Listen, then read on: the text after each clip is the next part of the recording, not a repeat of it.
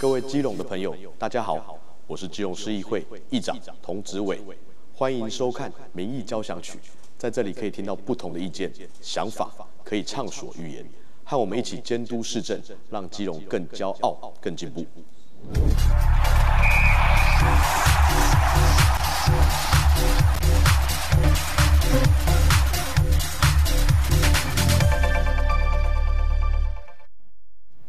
观众朋友，大家好，欢迎收看这个礼拜的民意交响曲，我是蔡小军。在今天的节目中，为你邀请到两位议座，带大家一块来倾听基隆市民的声音，一起来监督市政。我们先欢迎来自中正区的市议员吕美玲，小军主持人，还有凯琳议座，然后所有的观众朋友，大家好，我是吕美玲，美玲议座好。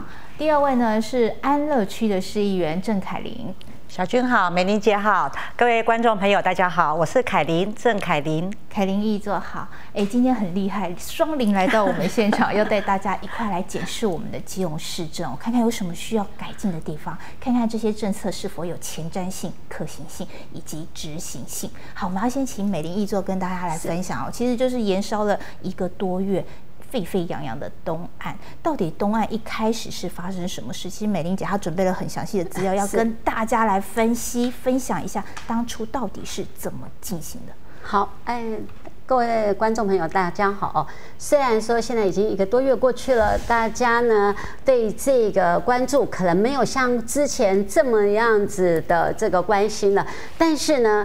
真相还是要让大家知道，因为不然的话，大家都很模糊，不知道到底什么是真的，什么是假的。那我也是透过了非常多的资料，包括很多的契约，这个契约还包括了呃，除了。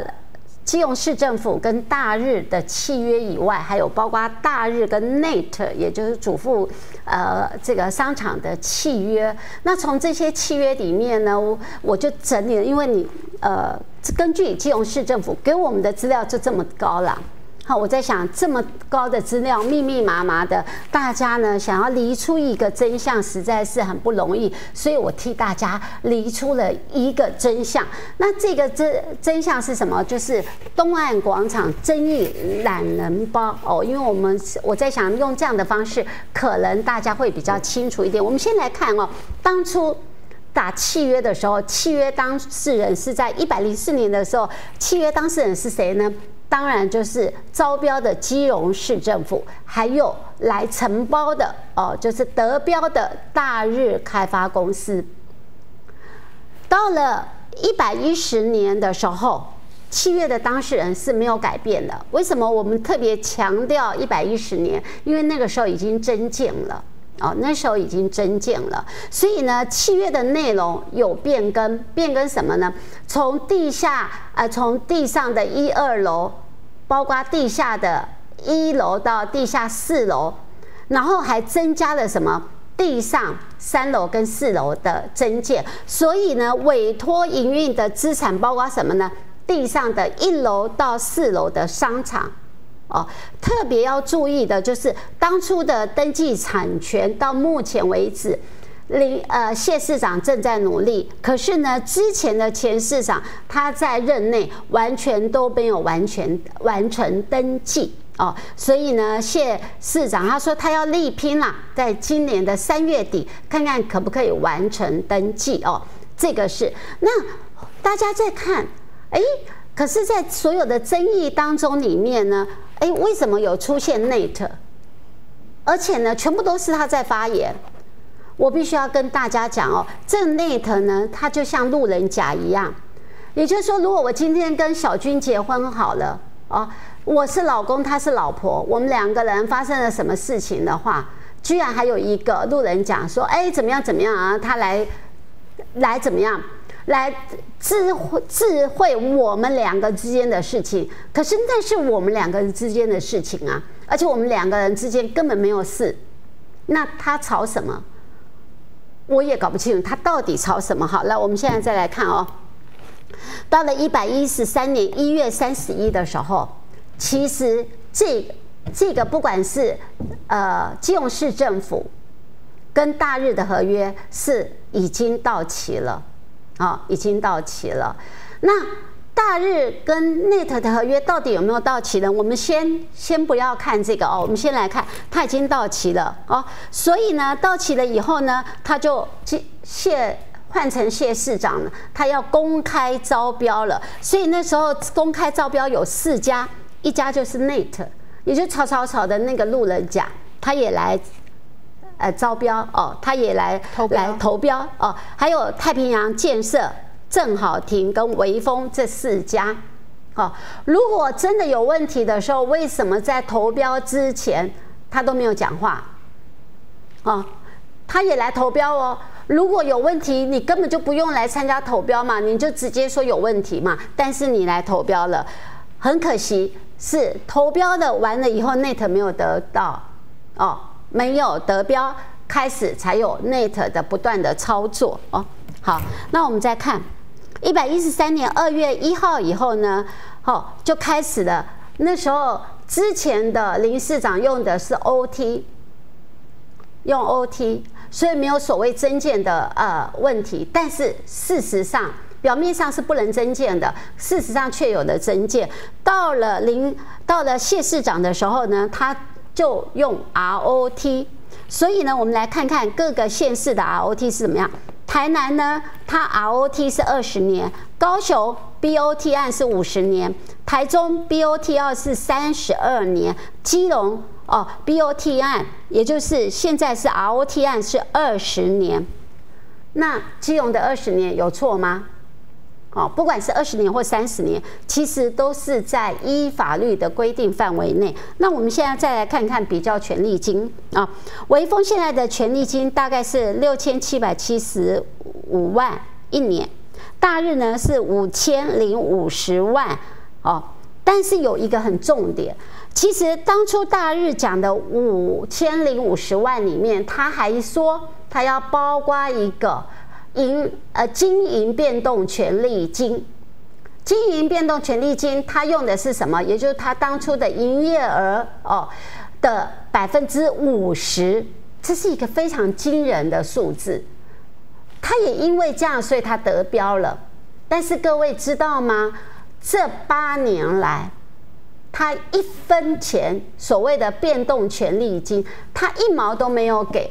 我们依照。一百一十一年哦的得到的，他八年来应该给多少？二十五亿，所以那时候才有所谓的你二十五亿一毛都没有给，我们希望要回来。啊，所以到底真相是什么？其实很简单，我们就看合约。哦，看合约，现在已经送到了这个司司法去调查了，但是我还是要跟大家讲。从自始至终，当事人是基隆市政府跟大日开发公司，跟 Net 一点关系也没有。我不知道他在吵什么，但是毕竟 Net 跟大日还是有签约的。Net 跟大日有签约呢，那怎么办呢？听说 Net 跟大日的签约还超过了大日跟基隆市政府的签约。大日跟基隆市政府的签约签到多久？其其实它是签到一百一十二年十二月三十一号。然后大日呢跟 Net 的签约是超过了这个期限，而且超过很多年，因为他们 Net 是预计预计什么？民进党可以继续执政，所以他签到了。大概就是签到一百一十呃一百这个我看呃一百一十五年或者是一百一十七年或一百一十九年，这都没有关系，因为毕竟他是跟大日签的，那也没关系。我为什么要这么说呢？因为他跟大日的合约里面有一个条款是什么？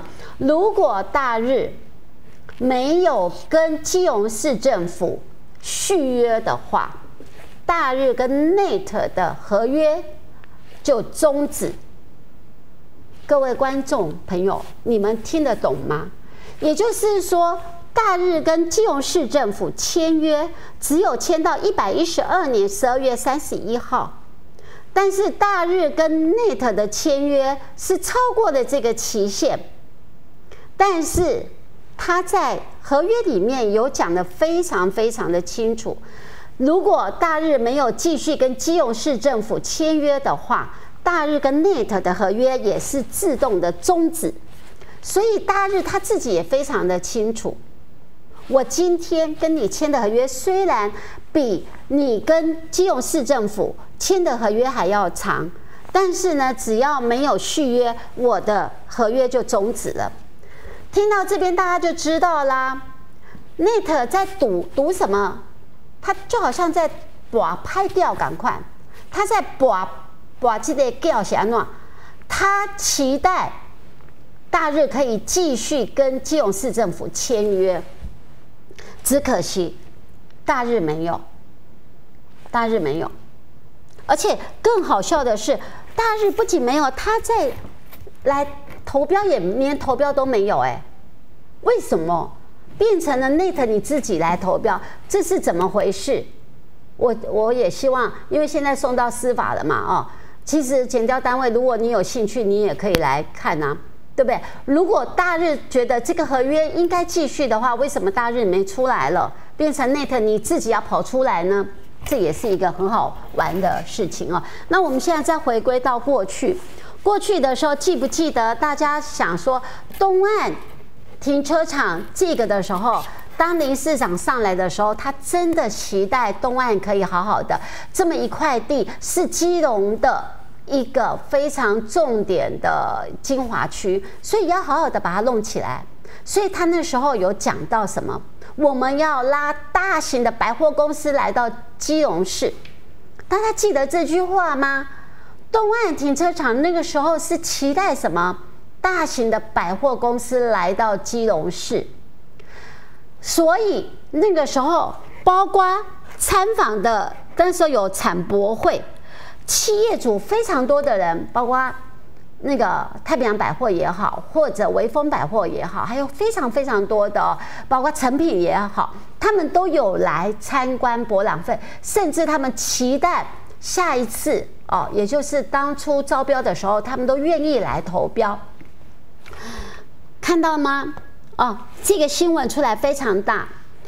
我们的这个微风，还有跟基隆市政府非常的怎么样 m a g 那时候哦登出来了，而且呢，不仅是那个时候登出来哦，我们看一下林佑昌市长在他的脸书讲什么。他的第一个哦，脸书那时候马上讲出来，他说。基隆指地维丰集团廖正汉董事长率团参观产博会，惊艳基隆的蜕变哦，绝对有机会来基隆投资哦。这个是那个时候的林市长，他也期待的。甚至呢，廖正汉他也说哦，这个是林佑昌说，廖正呃廖董事长说来基隆投资，一直是维丰集团的心愿啊。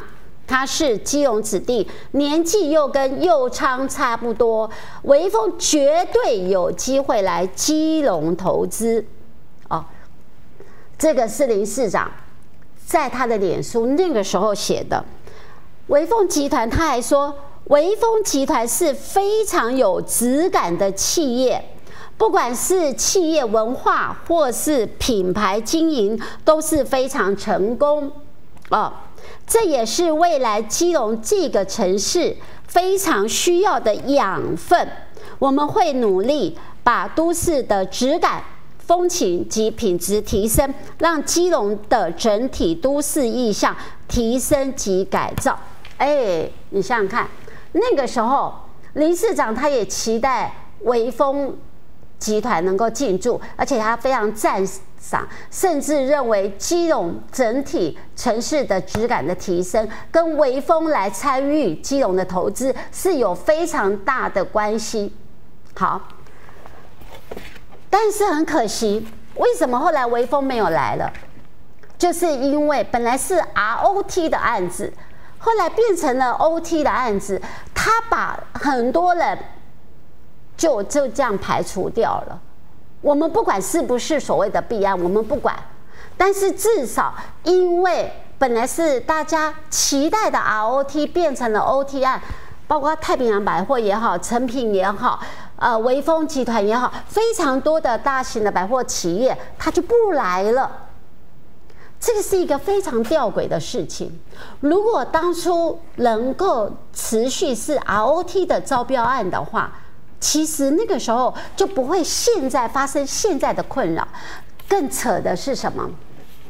我们看这是林市长接受访问的时候讲的，林佑昌强调，因此招商时本就希望对于基隆商场发展要有真。改建的计划，真改建的计划，大家注意听哦，注意看，增改建的计划，这非常的严重哎。如果你当初的标案本身就希望增改正建的时候，你就不应该是 OT 案哦，你应该就是 ROT 的案子了。所以为什么我在一百零五年的时候，我就要求？这个案子要送检掉，因为我认为它是有问题的，它是有问题。在一百零五年的时候，我就要求要送检掉。好，我们也知道，我从哦后来这个谢市长政府起来以后，送来了非常非常多的这个资料里面，我们发现，在真改建的这个会议里面。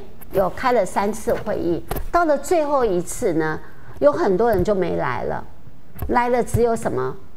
第一次大日还来，Net 就来了，哦，第二次大日就不来了，第三次也没来了，就只有这个非常核心的人去而已。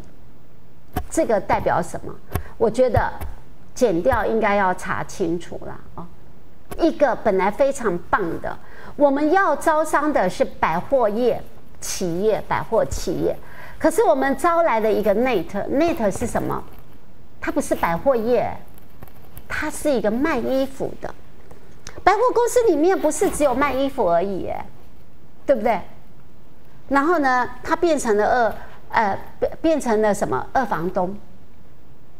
本来基隆市政府给了大日。大日又转租给 Net，Net 再来找了零零散散的这些来，所以这是一个正常的案子吗？这是一个正常的经营现象吗？其实心知肚明的人或者是业者应该都知道，这是非常不正常的。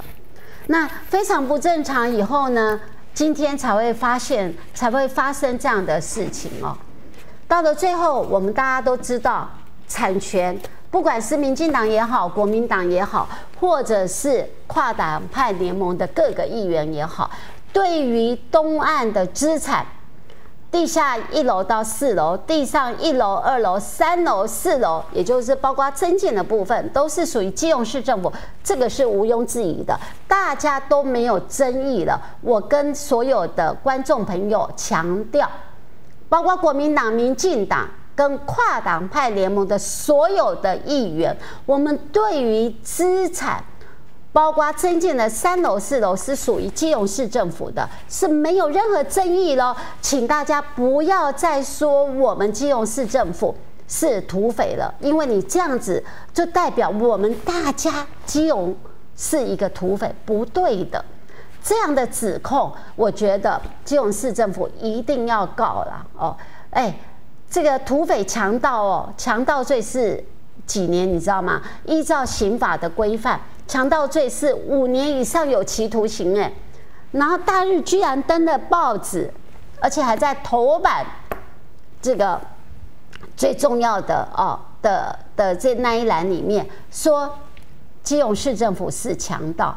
我觉得这种指控是不对的哦。我们也希望说，基隆市政府要硬起来，一定要告到底，至少要回复名誉，因为不然人家会以为我们基隆市是强盗，不对的。这个资产是属于我们基隆市政府的。我再跟大家报告一件事：使用执照，哎，建筑执照的申请是基隆市政府，使用执照的申请也是基隆市政府。Net 自始至终在基隆市的合约里面没有 Net 这个名称哦，然后呢，建造也没有 Net 的名称，使造也没有 Net 的名称，我真的不知道 Net 为什么一直叫叫叫哦。我觉得这个真的是不应该的啦哦。那这边的话，我们也期待能够把这个真相查清楚。是真的，就是交给法律来解释了，公平捍卫市民的资产。这个东岸商场的产权归属还是我们的基隆市民。我们要请教凯琳议座，就是坚持这样的理念。是的，刚才我们美玲姐哈，美玲议员哈，已经解释的非常的清楚了。啊，也相信在这一段时间的纷纷扰扰当中哦，其实呃。明眼人，我们我我们其实我们呃理性的我们的呃市民们已经开始慢慢的观察到，其实怎样怎样的方式是正确的。像美美美林议员刚才所说的一一呃一步一步的抽丝剥茧的跟各位这样子讲的讲解的非常清楚了。所以在这边哈啊我很我我我也是有一个四大立场哈，我的四大立场也非常简单哈。第一个是坚决捍卫基隆市的财产。哦，既然这个呃呃是我们基隆市市民的财产，那你基隆市政府，你市长责无旁贷的，一定要把基隆市的财产把它捍卫好，把我们的财产顾好，这是我们所有市民的财产。第二个合约对象，请你不要再躲了。刚才美美林议员有跟各位这样子讲解很清楚。第一个，基隆市政府我们打的合约对象是大日开发。而不是 NET，不是主副商场，所以请大日开发，你为什么从头至尾到现在都没有出来解释清楚？跟市政府签约的是我大日开发。不是他 NET，NET 是我私下跟他在转租给他的。你大日开发你要出来讲清楚呀！你害我们基隆市政府在背这个黑锅，所以这个部分是我非常呃坚决说，希望坚持说啊，你大日开发你要现身，如果再有状况你要现身，你要出来讲清楚，不可以再躲在后面再这样这这样子呃处理了。好，要求大日开发跟我们基隆市民的大众的市民。哈来道歉。第三个，现在目前所有的状况已经都送检掉了，所以也不需要再这样子纷纷扰扰这么这这么这样子了。真相只有一个，由检调单位来调查，来宣布，来把真相还租给我们基隆市的市民。还有刚才美美美林一桌有讲的一个权力变动金。在八年前的营运合约中就有提及，营收超过一亿，营收超过一亿的话，基隆市政府是可以收取百分之五十的权利金。但是，但是这八年来我们从来没有，这八年来从来都没有。所以，呃，我我们也非常要求大日开发，你要把你所有的合约账目跟所有的账册拿出来。来交减掉单位，你是如何规避这个权利金的？这个权利金让你这样子会会计的这样子手法哦，会会计犯罪的手法这样子规避掉了，让我们一这样子将近这八年真的少收营收了三到二十四亿的一个权利收入哦，所以这个部分我也坚决的希望说，呃，把这个部分也要送检掉。一起来让检调单位来呃查询清楚哈，让我们的营运金能够很顺利的把它追讨回来。那当然啦，这个是基隆市政府是在捍卫我们基我们基隆市民的权利，所以我们所有议员呢，就像刚才美玲姐讲的，其实不分党派，所有的议员都已经知道说这个是我们的权利，我们的。东西我们要自己捍卫住，所以哈也希望说哈呃呃这件事情已经进入检调单位了，也希望说所有的市民好朋友能够我们静待检调单位的真相来来跟各位报告。是，就是交给司法来进行处理，然后就所有的谣言都一切可以制止停止。好，那接下来要带大家来看到，就是临时会当中呢，有一项很重要，就是我们的电动机车这一项政策在议会上被讨论的沸沸扬扬。我们快来看看。基隆市环保局向市议会报告，公益青年就业补助电动机车计划推动几个月后，目前为止申请出去大约一百台电动机车，会继续努力。因为它这个有牵涉到一点，我们在受理申请到实际上发出的时候，就如同我刚刚所说的，它会有一点点数量上的没有办法那么精确。那我目前可以跟各位议员做报告，我们大概目前发出的车大概在一百辆左右。有市议员认为，这代表青年电动机车方案是失败的。电动机车辅助方案三亿八千万，但是我们的目标是五万台，目前只有一百台，也就是市政府的执行率为百分之零点八，那也就是连百分之一都不到。这也代表着我们的青年电动机车的计划可能是失败的。但是也有议员认为，可以透过滚动式的调整，例如放宽申请电动机车年龄资格，让这项符合环保趋势又能够兼做公益的良善计划继续执行。林佑昌推动假牙政策，第一波也是失败的啊，基层反弹很多啊。回到议会以后，我们也是协助林佑昌放宽政策，甚至追加预算。为什么我们可以这样帮林佑昌？现在的议院不能帮谢国良呢？我再强调，GoGo 的政策是市议会通过的预算案，议会有责任协助市政府把政策推动成功。那既然基隆市的年轻人啊认为这个政策他们不需要，那我们就把它扩大年龄层。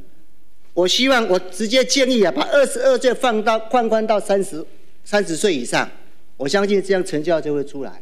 呃，如何的来去增加这个我们的这个执行率哈？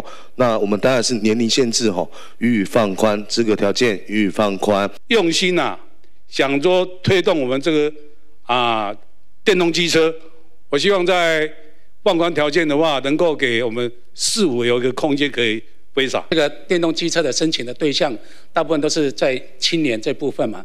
但是这个年龄的部分能不能呃，因为李林长这些有需要这种电动汽车的一个必要性，是不是他们也是可以作为一个申请的对象之一？那事实上，既然我们有有意要推动这个这个环保政策，那么还有那么多人有期待，我们是不是基隆市因为我们做成一个决议，赋予基隆市政府你去做一些这方面的考量？哦，你不要完全只针对哪些少数的人群。导致你这个政策没办法普及，失败在怎样被安那走在成功？啊，我我我是建议啦，上好是个四十一年厝，因为这四十一年厝上上上这一回嘛哈。啊，我还可以的哈，我四十一年次我还可以骑摩托车。啊，如果可以这样子的话哈，我们只要目的就好，结果就好，至于过程哦。咱拢一当一当继续在在研讨啦。对于议员们的质询，市长谢国良被询时感谢议员们的建议，市政府会研拟新的方案，放宽民众申请电动机车的年龄资格。哇，这看起来就是大家讨论的沸沸扬扬，而且就是资格要放宽啊。我们请廖凯琳一坐，当时候，然后你的看法又是什么？是啊，这一个电动机车的这个方案哦，说实在的是。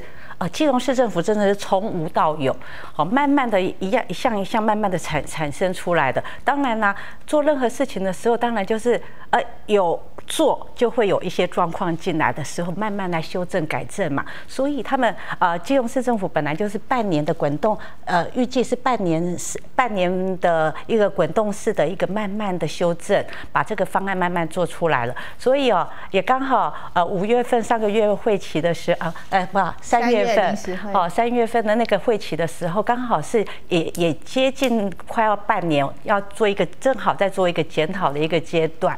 好，所以那时之后我们所有的议员大家都非常的呃，在在对这件事情非常的关心。好，所以哎，真的也也就在检讨完了以后也。也依据我们所有的议员的一个建议方案做来做一个调整了，而且这个调调整案，我我相信我们基隆市是的青少年朋友是非常高兴的，因为我家也可以享受到了这这一个好康的一个优优惠方案哈。呃，从三月二十九号开始，青年节那一天就会开始有这一个新方案的产生哈，月资费是零元的，最好康的一个补助方案就是说，哎，这一个好康的方案是二。十岁到四十五岁这一段的年龄，我们放宽到了四十五岁。四十五岁是这样子，是八六十八年次到九十三年次的所有青少年朋友，你都可以有机会来参与这一项的活动哈。但是不要忘记，还是有一个一百零九年十二月三十一号前必须涉及在我们基隆市，而且连续在即。好，这个部分是一个我我们呃呃基隆市市民非常要求的一件事情哈。当然一定要有这样的规则嘛哈。然后呃重型机车驾照一年以上，那现在太旧就是不用呃非必要要太旧了。额外太旧的话，你有旧车要换新车的话，另外还要保补助一万元的这个补助金哦。所以这个额额外太旧补助金也也让很多人很欢喜，因为之前他没有登记到啊，因为月租费的关系，所以当初并没有说想要去。呃，登记，但是现在新的一个优惠方案，新的优惠的月资费的方案是零元，零元哦，所以哦，有两个厂牌，所以这个部分有高用量、低用量啊，高。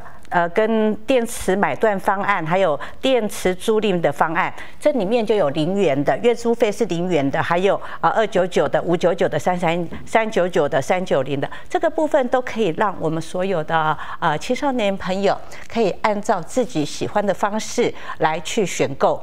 好，欢迎在我们呃三月二十九号之前还没有到之前，各位可以先赶快到我们的那个呃环保局或者是南站火车站这边哈，可以去询问的地方哈，多多来询问。三月二十九号不限两千台了，已经是无限的让各位来登记。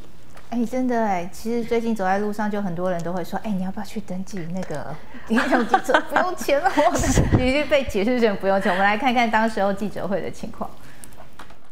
针对议会对公益电动机车方案的建议，是否从善如流？希望做好基隆近零碳排，并回应民意，把市民的福祉放在第一优先。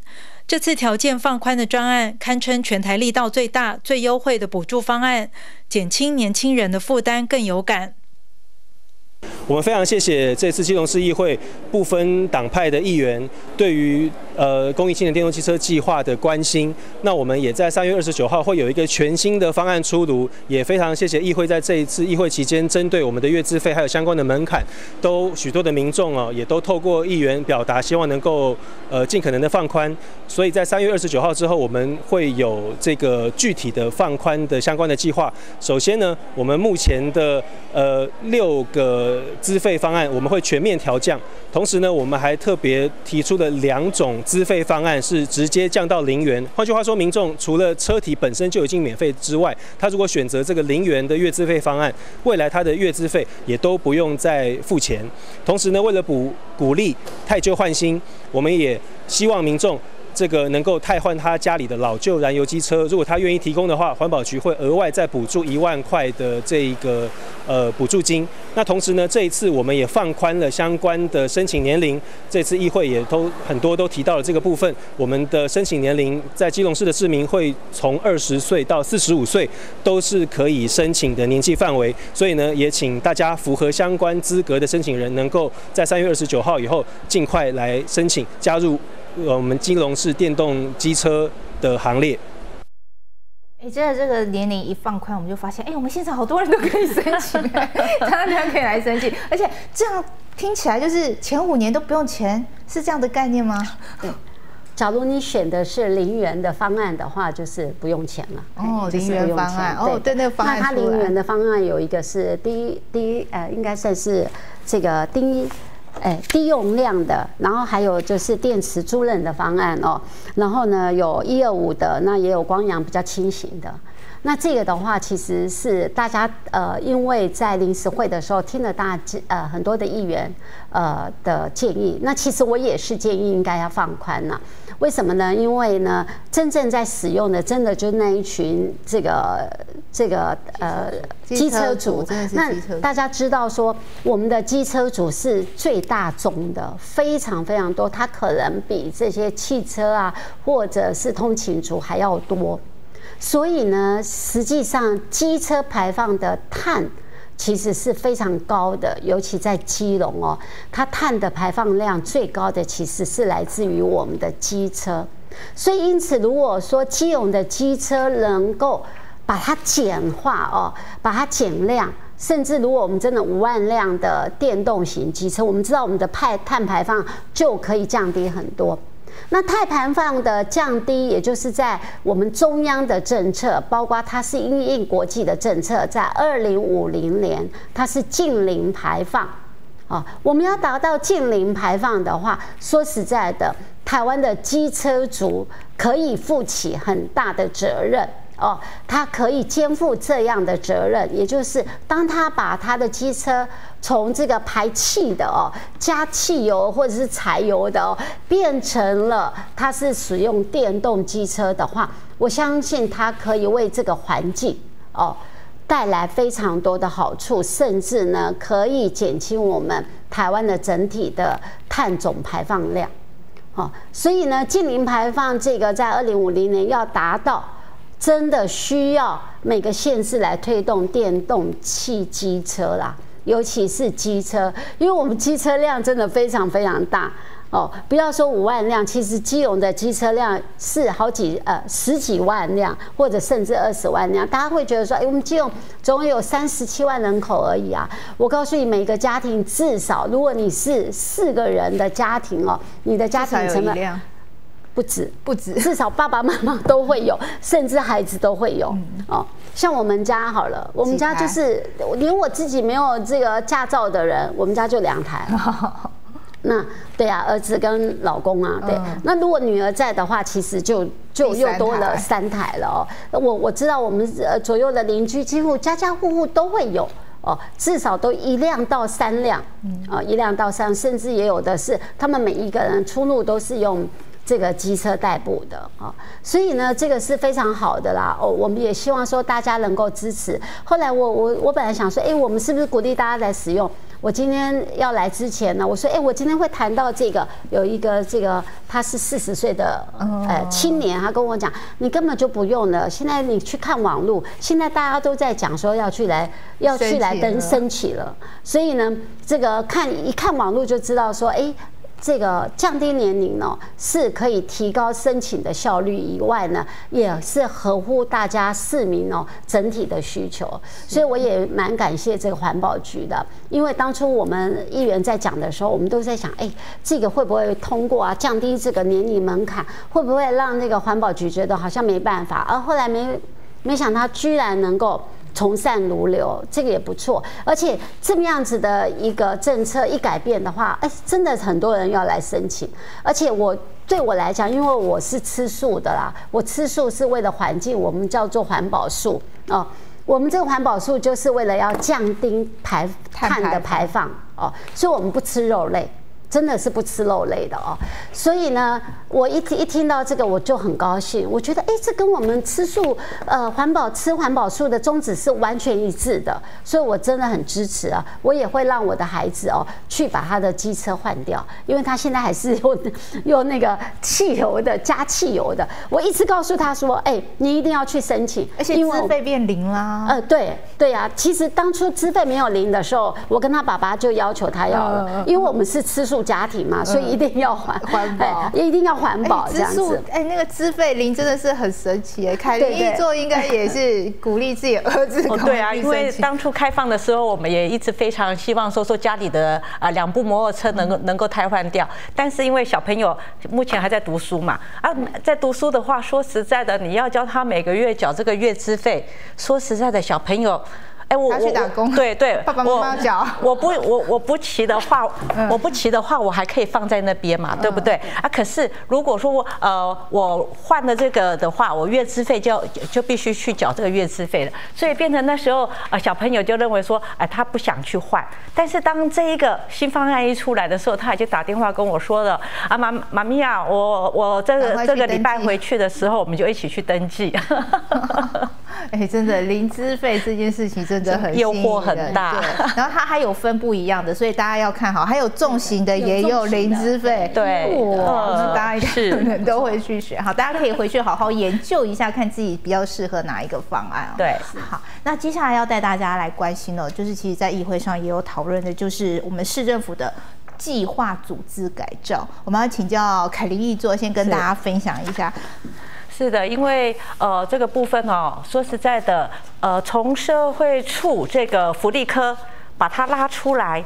哦，老老人福老福科的部分，把它拉出来，变成呃青少年儿童福利科、少年福利科这样的状况哦。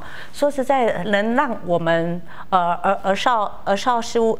呃，这个叫做我们是讲儿少局，对，儿童及儿童及少年事务处的一个新增以后，变成说福利呃福利福利科啊，儿少儿少及家庭支持科，好，场馆设施科，还有综合企划科，这个全部都成立了一个专责的一个单位。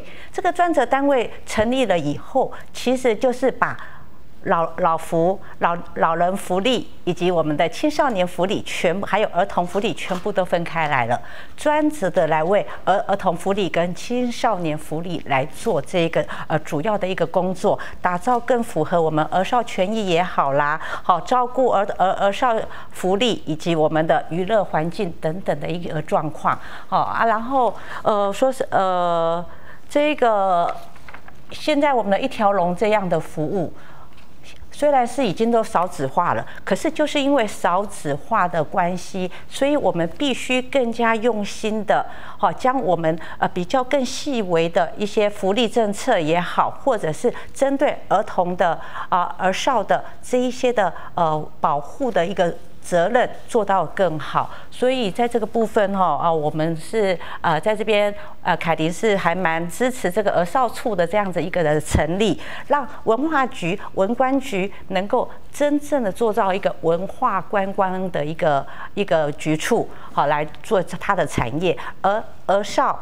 儿童、少年这样子，从零岁到十八岁这样的这样子结合，让我们专责的人来做这样的一个服务的一个工作。这个部分，呃，我是觉得说，我们应该要要好好的支持，让这个零岁到十八岁的儿少处能够更用心的把这个我们基隆市的有爱的城市做到更好。是，就是要让基隆成为真正的有爱城市。美林一座也是这么想吗？对啊，我觉得儿少处的成立哦，就表示你真正已经是知道少子化的困境了，而且你真正在支持大家多生小孩，而且呢，你真正的在支持生了小孩以后，你来协助家庭来做这个协呃这个照顾。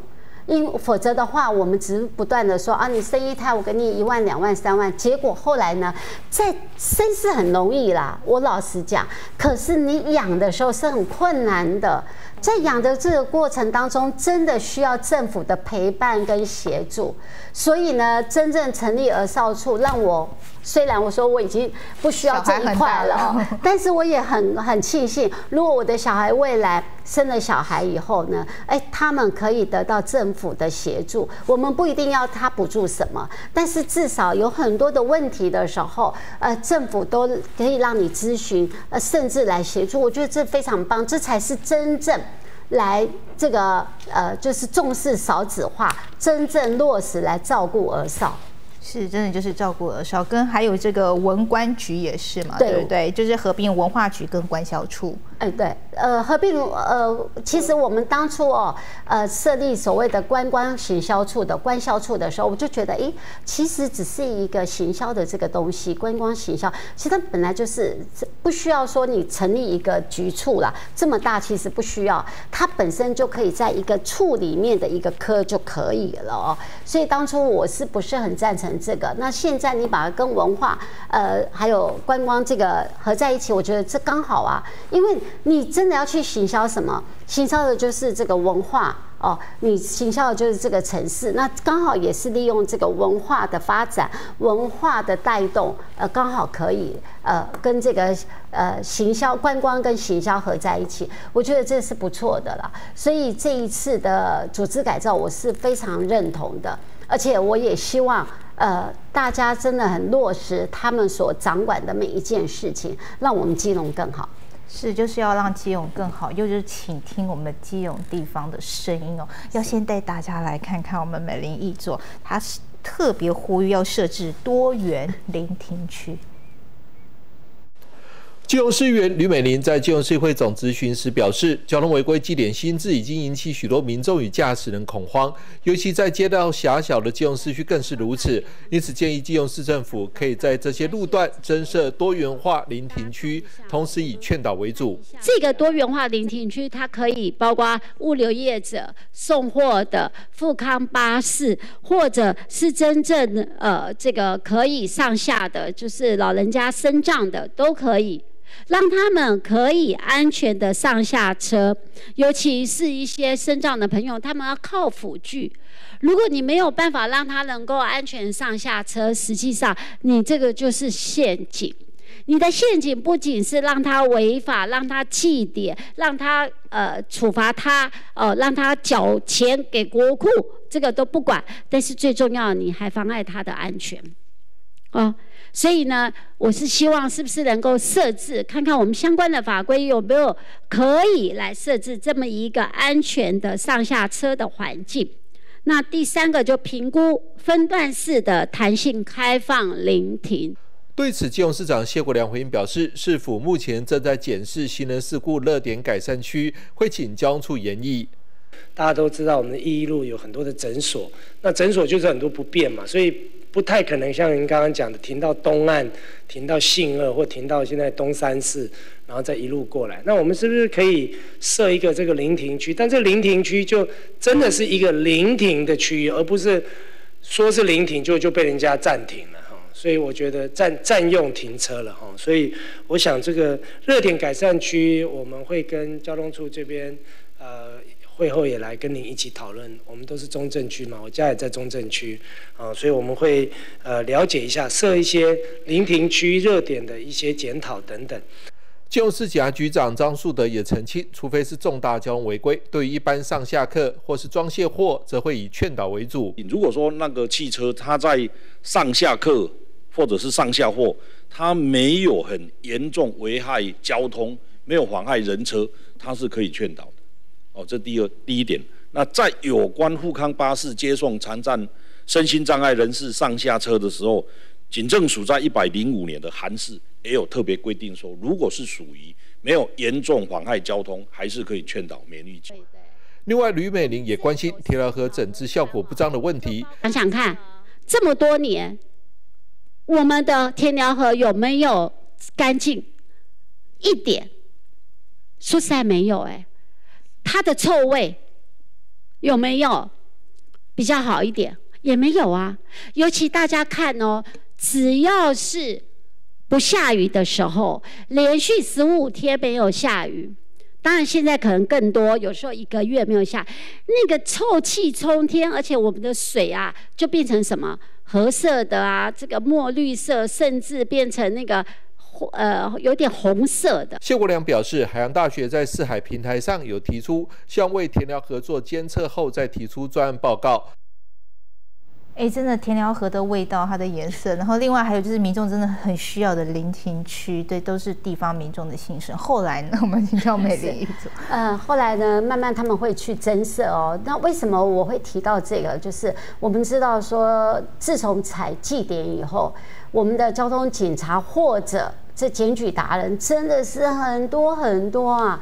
哎，大家聆听一下呢。那当然就是说我不是说哎鼓励大家都聆听，而是有些的聆听是必要的。为什么这么说？我们来看一下我们一一路好了，我们一一路非常多的这个呃这个叫叫做妇幼科，而。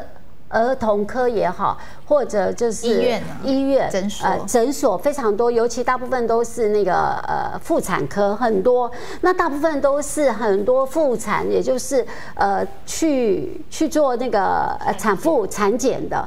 那产检的话，你不可能让他下车以后啪啪啪啪，不可能，所以呢动作都非常慢哦，非常慢。然后很多人呢，他就是因为在放孕妇的时候。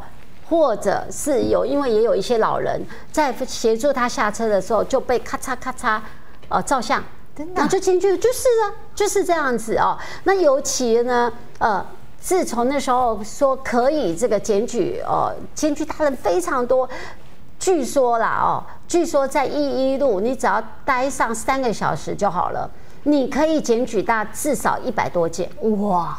因为几乎大家都要来产检嘛，或者是儿科嘛，或者是老人嘛，然后呢，只是在那边稍微停一下，然后放老人下来，放孕妇下来，放儿童下来。然后呢，就被检举，所以那时候我才想到说，哎，说实在的，你真的要多设一点聆听区啊。那当然不是说啊，你聆听我就可以没有。如果你在这边是没有人，或者你这边待上了，嗯，对，一定要有人上下嘛，哦，所以这个是我当初为什么会要求这个。除了我们的义一路以外啦，当然非常多的，还包括这个那个庙口那边，哦，为什么庙口那边很多的这个外外地的游客，或者是非常多就要到庙口去弄的在地的基隆市民，他也跟我讲。我宠物妈妈哦，大部分都是年纪都蛮大，因为那个时候大家对庙口有一份情分哦，他要去那边吃他小时候没有，他年轻的时候小时候的味道，所以大概就是一个月或或者是两三个礼拜就会去一次。他说他每一次去就被照相，每一次去就被。就被检举，他说我嘛是为了要尽孝而已啊，所以他才说，哎，是不是可以哦，也在那个地方哦放人家下来？他说不仅是我是在地的市民呐，他说实际上外地的游客他也会在那边上下车啊。可是如果你全部都画红线，哪个地方到底哪个地方自行车可以停？是完全是不行的哦，所以就是要多设立这个多元聆听。对，然后所以呃呃市长也能够接受，我也蛮感谢的啦哦，因为这个真的是市民的心声。那同样还是市民的心声，要带大家来看我们的安乐区哦，安乐区我们的凯联一组非常关心的我们的基捷二街，另外还有就是要呼吁国家新城要新辟连外道。市议员郑凯琳首先为基隆市远景教区，因为他们的警情加急比邻近双北少很多，呼吁曾担任基隆市长的内政部长林佑昌及曾做过基隆市警察局长的警政署长黄明昭应出面解决。另外，郑凯琳也关心基隆捷运推动进度，尤其第二阶段路线，郑凯琳建议可从八堵衔接迈进路长庚商圈，再转往市区。走。我们右侧是这边，那啊呃南侧是这边是这样的状况。北侧的话，迈进路北侧的状况就是啊现现有的长庚第二停车场，以及我们旁边那个地方长庚停车场后面，以及我们自强隧道那个那个部分，那个后面整大片都是大部分是国有地的医疗用地。如果这两边这两块能够好好的来使用，来来来规划的话。哦，我相信捷运到我们长庚哈，打造我们多功能的副副都心，这样子的全面的区域考量，规划捷运站体及呃我们基隆的第二转运站，这都是非常棒的一个选择。针对国家新城的立三街塞车问题，郑凯琳呼吁基隆市政府紧速规划辟建第二条连外道路。对此，基隆市长谢国良也做出回应：从国家新城到庄观里。然后就直接达到我们麦金路三项以后，就到呃富锦天下的麦金路了。除了要上高速公路往基隆，这样子都非常的好，好，真的是一条很顺的道路，而且也可以让我们麦金路三项是前市市府团队说的幽灵道路，不是路的路。好，让我们这条路能够正式化。那边应该做一个完整的一个交通配套的规划，把国家新城壮观，还有您刚刚讲的麦金路的三项等等，还有甚至是不是有机会从上次啊，可以有一个引道到国道三号等等，我觉得我们都可以一并纳入做考量。我们刚刚还在讨论一些科目上面的处理方式，希望能够尽速的来规划。啊，做一个这样子的一个完整一个交通配套的可行性评估。除了交通问题，郑凯琳也关切基隆市围绕都跟推动情况，尤其是安乐一起国宅六号基地即将达到都跟门槛，建议基隆市政府协助成立招商小组。我希望说，我们市府能够也进入理呃协同我们理事会来共同。呃，来成立招商小组，来推荐我们，或者是呃邀请我们的潜在的这个呃绩资绩优的，我希望是绩优的啊，潜在的潜在的投资建商来参选的我们这一次的本案的遴选。谢国良表示，明年成立的都更办公室将一口气扩编到二十人，希望全力推动。我们目前都更的人力是不足，所以在议会通过后，感谢议会的支持，明年度我们的都更办公室就不只是只有针对安乐一期的这些这个这些区域，正在安乐一期其他栋的这个整合，我们也可以加速来进行。哎，真的就是要加速整合，就符合地方民众真正的需求。我要请教凯琳一泽。是的，这这是我们安乐区哈，就是交通问题特别严重哦。我们一直期待着我们的呃捷运能够到我到达我们的长庚商区，这样子的话，打造出我们的所有的这个部分呢，我们的交通也可以把它做一个更简单的一个整理化了哈。当然了，我以国家新城来说，国家新城的呃第二第二条连外道路，现在目前的。部分哦，凯琳的呃想法是从国家新城五福里好打到我们壮观里，然后由迈进路三巷这边直接上一号高速公路，这样子的呃呃呃评估会比较简单一点。但是我们立委林佩祥立委也开始在打造第二条的一个呃高高速道路，好从我们上次货柜连接到我们三高这样的部分，他现在也在评做评估当中，所以呃期待说我们安乐社区。好，以及我们国家新城所有的连外道路，如果说能够健全来打通的话，相信能够啊疏解到非常多的我们的台北在外面上班的上班族。是，就是解决交通问题。然后另外还有一个好消息，就是都更。是，那你都更也出了很多力。哦，是的啊，现在安乐社区哈有八个八个基地哈，六六号基地的都更哈，今年今年已经可以对呃，应该已经有到达这个样的状况，可以对外呃来呃招商了，建商可以来招商。我们可呃六号都。基地可以去招商了，然后另外一条另外一个呃新建的一个呃基地，就是我们长庚长庚医院旁边的四合院，最近也一直在如如火如荼的在召开这个协调会，哦，已经开始在对招呃都更的部分来做一个检讨会会议哈，所以我们也期待，如果它能更快的话，一定会把基隆市安乐区这个部分的都更哈带动起来。哇，那真的是很令人期待，就是安乐区一些老旧建物的都跟这个就会具有全新的面貌。剩下最后一分钟，我们要请跟大家说说话，谢谢美玲姐。大家好，我在想，刚才透过我们刚刚的那个呃说明的话，大家应该知道东岸的产权应该是没问题的。那我们也期待说，我们的检调单位能够真正的落实来调查清楚，把真相公诸于这个呃呃大大众，让大家知道真相是什么哦。勿勿忘勿重了啊，勿忘勿重。那再再来的话，就是希望说我们的多元聆听的区。的区块能够赶快的呃画出来，让更多的需要的民众能够不再遭受这个检举达人的检举之苦啊。再的话，就是我们也希望说田寮河能够赶快让它弄干净哦，因为毕竟那个是这个市中心的一条非常重要的河流。是。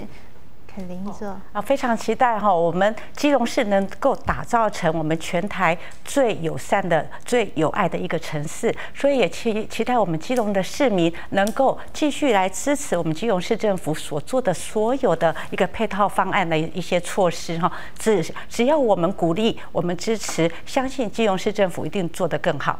真的，今天非常谢谢两位一作双灵来跟我大家分享这么多，关心我们在地的心声。我 相信一定可以一起打造幸福基隆。我们下次见喽，拜拜，拜拜，谢谢，哎，太厉害了，刚刚好。